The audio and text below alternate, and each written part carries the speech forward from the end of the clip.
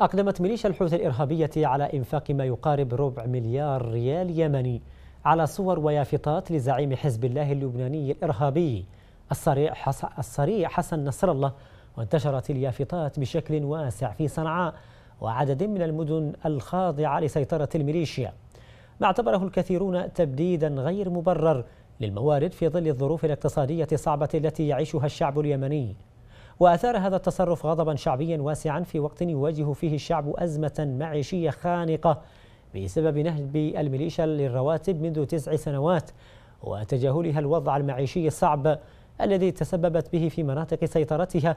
ويرى مراقبون أن هذه الخطوة تعكس مدى انخراط الحوثيين في المشروع الإيراني بالمنطقة.